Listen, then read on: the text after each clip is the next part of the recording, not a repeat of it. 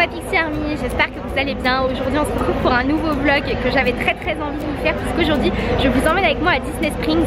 C'est le fameux Disney Village euh, de Walt Disney World qui est très très grand et je voulais que vous puissiez vous rendre compte avec moi de la taille de ce complexe parce que vous allez voir que c'est vraiment une destination à part entière. Il est 14h euh, pour ce vlog, je vous prends assez tard aujourd'hui pour une simple et bonne raison, c'est que j'ai passé la matinée à Typhoon Lagoon. Donc c'est officiel, je peux enfin dire que j'ai fait tous les parcs de Walt Disney World puisqu'il n'était pas ouvert la première fois que j'y été. Alors Typhoon Lagoon c'est un parc aquatique euh, qui est l'exact opposé en fait de euh, Blizzard Beach puisque c'est un parc euh, qui est vraiment plus sur les Caraïbes, tout ça. j'ai pas fait énormément de choses puisque bah, les toboggans tout ça ne m'intéresse pas trop. J'en ai profité pour aller sauter dans pour aller sauter dans les vagues puisque c'est quelque chose que j'adore faire et là elles sont très très fortes, elles arrachent franchement. Et j'ai également fait un tour de bouée qui fait le tour du coup du parc. Parc est plutôt petit en fait donc on en fait très très vite le tour.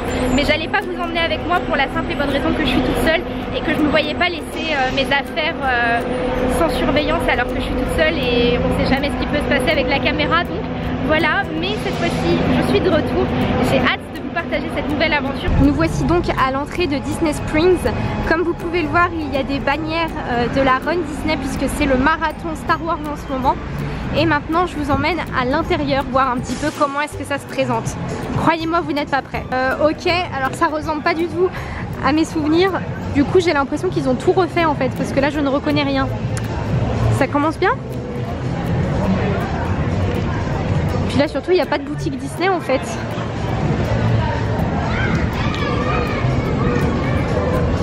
Pour l'instant on dirait surtout un, un espèce d'esprit de la vallée village je reconnais pas du tout. Il y avait vraiment pas ça la première fois que j'étais venue en fait. Du coup ça fait vraiment bizarre. Et je sais pas du tout vers où aller. je découvre en même temps que vous. Hein.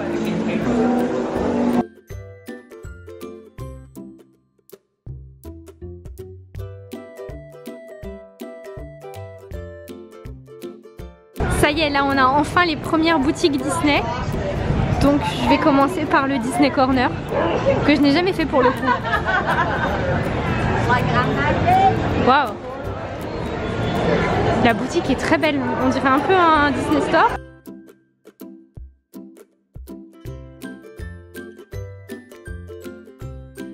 J'adore Regardez-moi comme c'est joli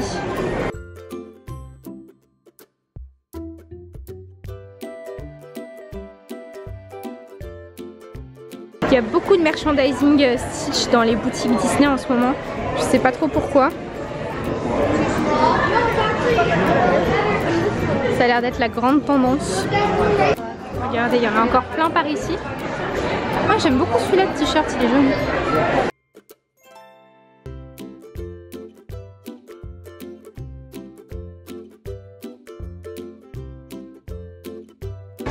Moi c'est vraiment un Disney Store géant en fait.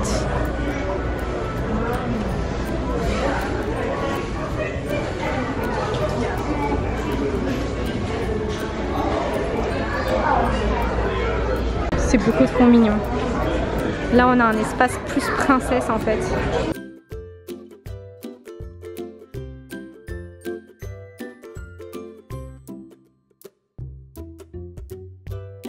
J'ai entendu dire qu'au Uniqlo de Walt Disney World, il y avait des produits exclusifs dans la boutique.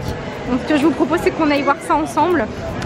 Voir un petit peu ce que ça donne, s'il y a vraiment des t-shirts particuliers ici ou pas du tout. Pour l'instant ça fait plus boutique normale, pas très Disney.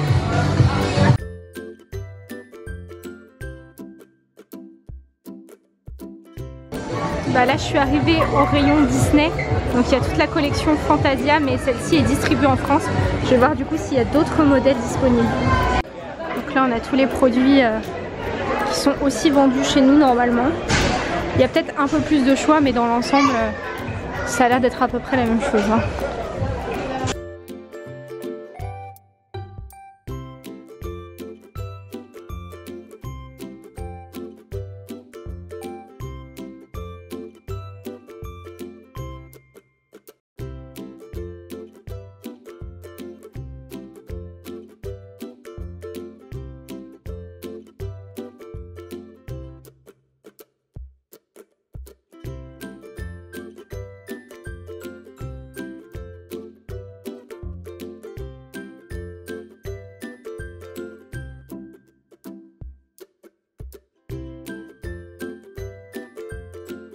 Bon, bah il y avait bien du Disney dans la boutique Uniqlo maintenant.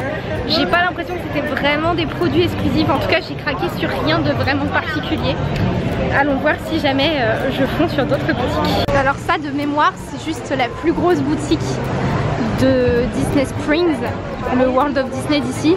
Donc je vais vérifier ça. Normalement, c'est censé être une très très très très très grande boutique, mais genre rien de comparable avec la France quoi. Donc ça, c'est juste la première salle. Déjà énorme. Ce genre de t-shirt est très à la mode en ce moment. On en voit vraiment partout, partout, partout dans le parc. J'aime bien celle-ci, ça fait un peu une robe. Ça en ce moment c'est ce qui fait rêver toutes les influenceuses sur Instagram. Donc ce sweat là avec ces oreilles-ci. Dites-moi dans les commentaires si ça vous fait rêver. Moi j'aime bien la couleur mais bon entre le fait que ce soit mini et ça, j'avoue que je suis pas euh, sur le point de craquer non plus. J'adore. Regardez-moi cette thématisation.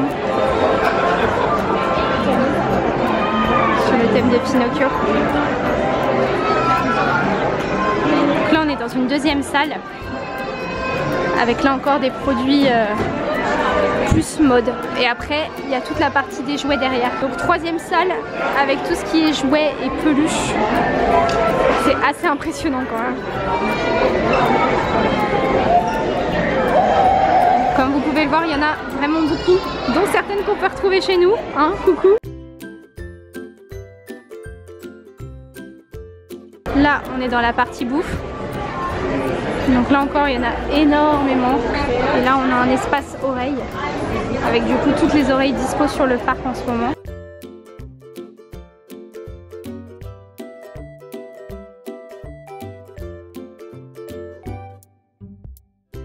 Là, il y a de très jolis snow globes que j'avais jamais vus nulle part. J'aime beaucoup celle de Phantom Manor juste ici.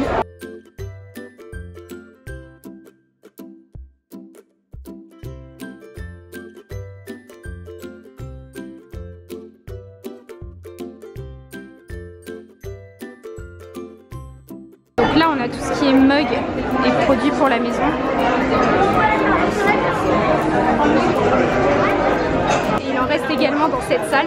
Il faut savoir également qu'il existe des produits pour animaux de ce style là. C'est quand même vachement marrant. Dans cette salle on a encore et encore de la nourriture.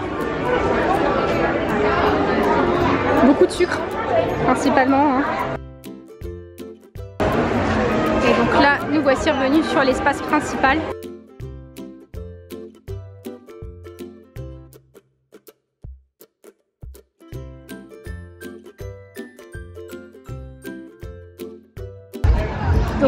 Et on arrive sur la boutique Lego, l'incontournable des Disney Village. Hein. Regardez-moi la taille de cette statue. Voilà l'intérieur de la boutique.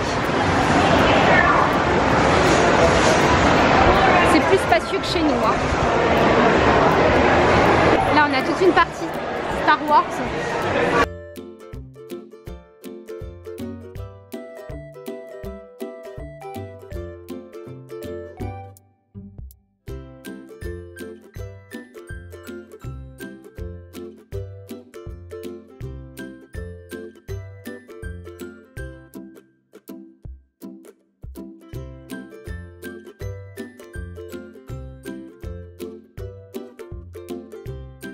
Un petit peu déçue de la boutique Lego. Je trouve que la nôtre est mieux thématisée avec ses belles mosaïques. Là, il n'y a pas grand chose et puis surtout, il n'y a pas que du merchandising Disney. J'aurais pensé qu'il y en aurait plus que ça et en fait, euh, pas grand chose. Hein.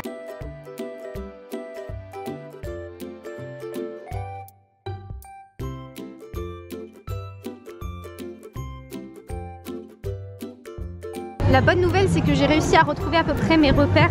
En fait, j'étais arrivée par là la première fois, alors que là, je suis arrivée en plein milieu du parc. Donc du coup, on a la moitié euh, à faire encore de l'autre côté. Là, on a quelque chose d'assez unique puisqu'il s'agit du Rainforest Café, mais en version dinosaure, donc T-Rex. On va pas pouvoir aller y manger, mais par contre, ce que je vais faire, c'est que je vais vous montrer la boutique à l'intérieur.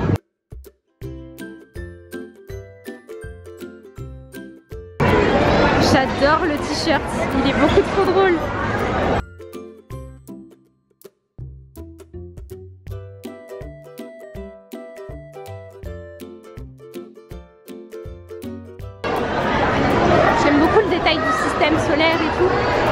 Que j'aime également beaucoup aussi dans cette boutique, c'est le fait qu'il y ait un bulle de bear spécial dinosaure en fait. Alors bulle de bear, si vous connaissez pas le principe, c'est le fait de faire votre propre peluche. Donc il y a une boutique spéciale Disney et il y a la boutique spéciale des dinosaures. Et je trouve que c'est génial pour les enfants qui aiment ça, euh, les dinosaures ou même les grands enfants, hein, les adultes. Regardez-moi tout ce choix. Et après du coup bah, vous avez tout ce qui est euh, tenue. Tenue des petits dinosaures.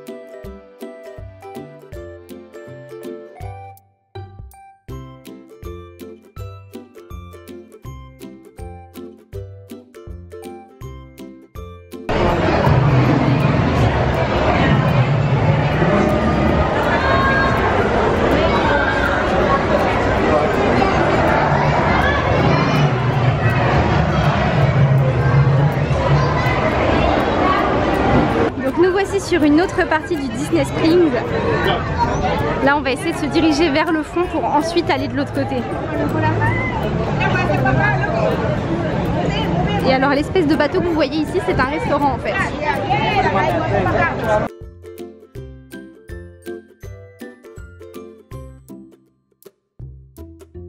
En fait ça c'est un truc que j'ai vu qu'à Walt Disney World. Euh, vous pouvez payer pour en fait faire un tour de... C'est du pédalo mais en fait c'est sur Les voitures que vous voyez à gauche en fait elles vont dans l'eau.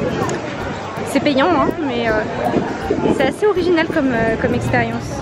Je vous dis pas comme ils doivent rire les Américains quand ils viennent à notre Disney Village à nous. Parce que eux c'est carrément une ville à part entière, hein, euh, leur Disney Springs quand même. Dites-vous qu'on n'a pas encore fait un quart de tout le truc et ça fait plus d'une heure que je suis ici.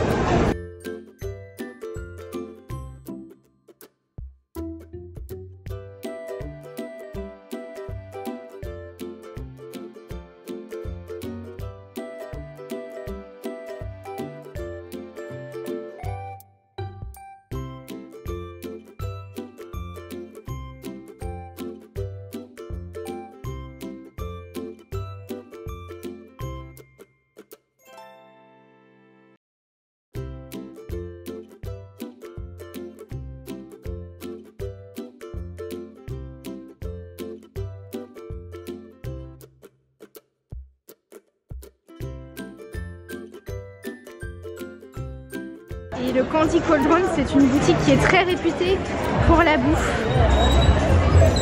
et qui est assez impressionnante. Regardez-moi ça.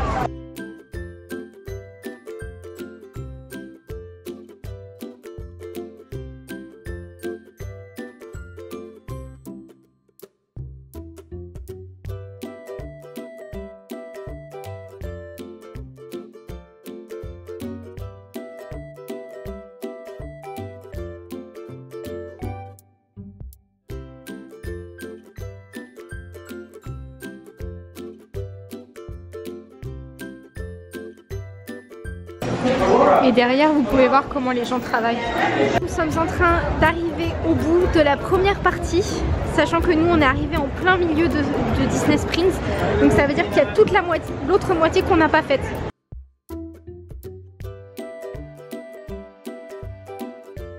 Le truc, la marron que vous voyez juste au bout, c'est l'ancienne aire de jeu Disney que j'avais eu l'occasion de faire avant la fermeture définitive. Ça fait un sacré vide quand même, je suis assez perturbée. Bah donc du coup on a la réponse, ce sera un endroit réservé à la NBA qui va ouvrir à l'été 2019. Et en fait juste ici au bout vous avez le Cirque du Soleil pour vous représenter un petit peu la taille de tout ça. Voilà du coup un plan de Disney Springs. Je sais pas si vous vous rendez compte un petit peu, donc nous on a fait toute cette partie là et là il me reste ça à faire. Là on repasse de l'autre côté pour pouvoir voir la suite de Disney Village. Ça, ça c'est une énorme halle en fait où vous avez tout un tas de choses en rapport avec Disney. Et j'avais beaucoup craqué il y a deux ans dans cet endroit. Parce qu'il y avait beaucoup beaucoup de choses.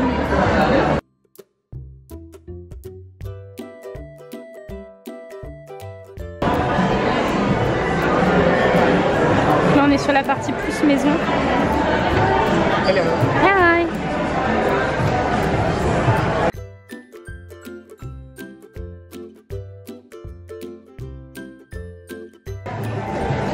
Regardez, ça c'est l'espace de la boutique vintage. J'adore. Il y a tellement de jolies choses.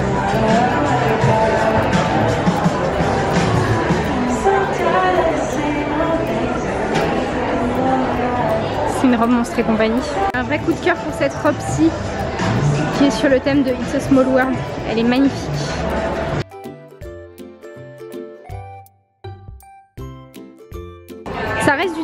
C'est quand même très très discret et j'aime beaucoup ces collections. Alors après c'est pas donné du tout mais c'est vraiment très joli. Vous avez même les robes euh, Haunted Mansion avec les accessoires et tout. Franchement c'est sublimissime. Et là on est à Trendy, une boutique que j'adore et en fait j'ai repéré un truc ici sur l'application Shop Disney Parks que je viens chercher en fait. Comme j'ai fait le tour de toutes les boutiques de Walt Disney World, bah, j'ai presque acheté tout ce qu'il me fallait, sauf ce t-shirt que je ne trouve nulle part ailleurs en fait.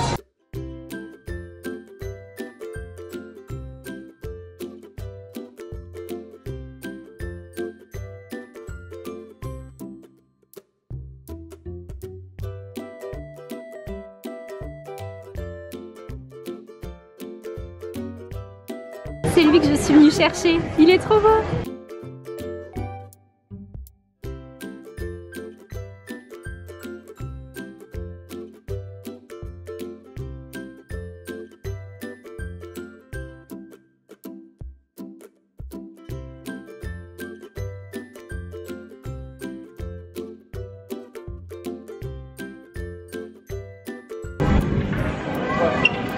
C'est beaucoup trop chou. On a aussi ces énormes endroits en fait remplis de pins pour les fans qui peuvent donc faire autant de pin trading qu'acheter tous les modèles disponibles. Ça c'est le genre de boutique que j'adore parce que c'est Noël toute l'année à l'intérieur. Et celle-ci elle est vraiment très très grande en plus. Regardez-moi la beauté de cette boutique. Magnifique.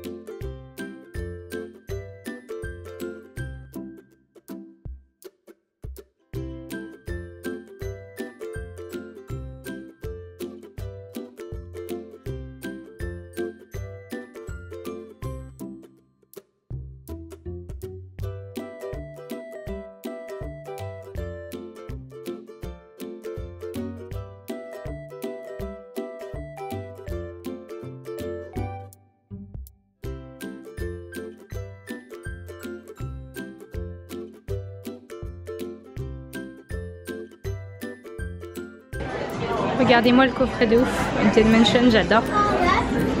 Il y a beaucoup de merchandising également de l'étrange Noël de Monsieur Jack. Mais comme vous pouvez le voir, c'est très très cher, donc du coup moi j'en prends pas, mais euh, il y a vraiment de très très belles choses.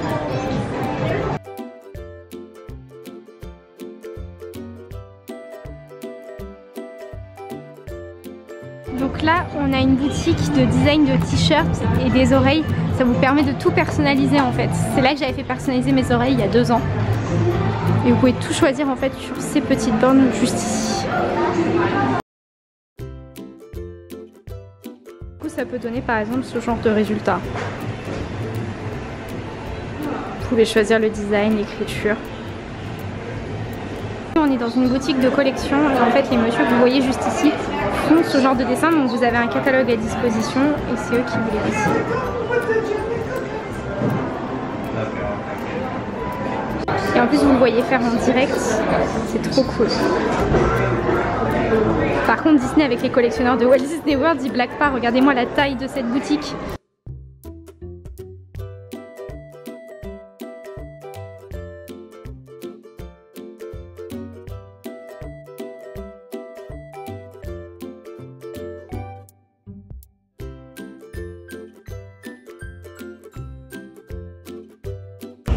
Voilà donc pour notre tour de Disney Springs. J'espère que ça vous aura plu la Pixie Army, ça vous aura permis de vous rendre compte des différences entre le Disney Village de Walt Disney World et celui Disneyland Paris.